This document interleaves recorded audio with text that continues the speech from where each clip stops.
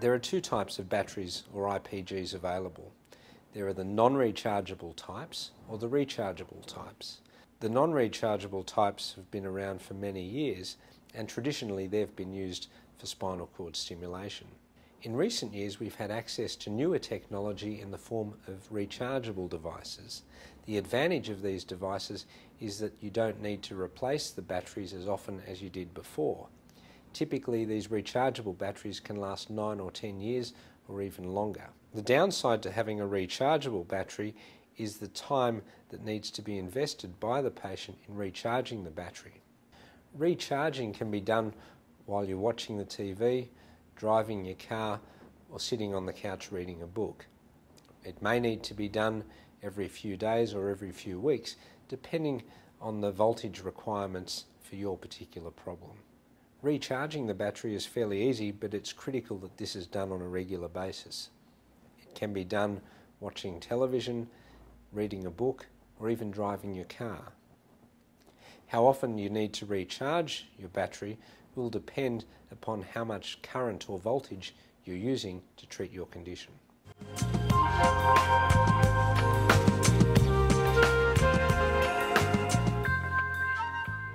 Decisions about whether to use percutaneous type electrodes or paddle type electrodes, whether to use a rechargeable device or a non-rechargeable device need to be made before your surgery. This requires discussion with your specialist and you need to be happy with the final decision and this needs to be an informed decision.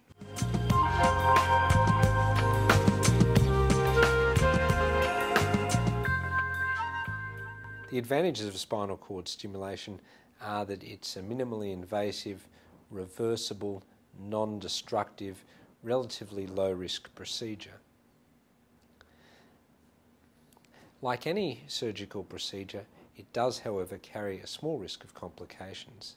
These complications can include bleeding, infection, migration or movement of the electrode and other more rare complications.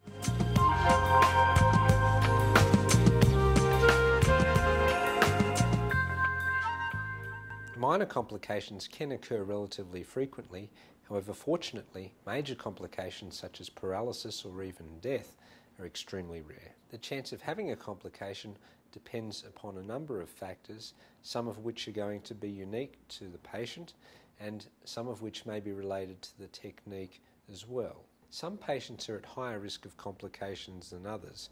For example, patients with diabetes, bleeding problems or other significant medical problems will certainly be in the higher rather than the lower risk group. Before having your surgery, it's important to select a specialist with a great deal of experience and expertise in this technique. You need to ask them how many of these have they done, how often do they do them, what their complication rates are.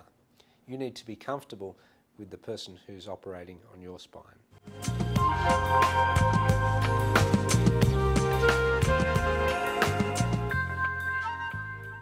Spinal cord stimulation is different to many other types of surgery.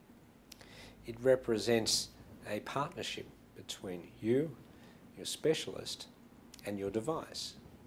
It represents the start of a journey along the path of improved quality of life and improved pain control.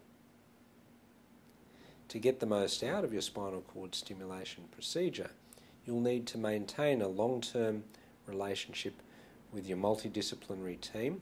You'll need to have programming from time to time over the course of many years. You may need to have ongoing physiotherapy. You may need to keep seeing your pain specialist and also be taking some pain medications. Spinal cord stimulation is not a standalone solution or cure for your pain, but rather one important component of your overall treatment. Chronic pain due to nerve injuries or complex regional pain syndrome is often amenable to spinal cord stimulation. If you suffer from chronic pain, ask your GP or your pain specialist for referral to an expert in spinal cord stimulation to see whether this is something that might be of help to you.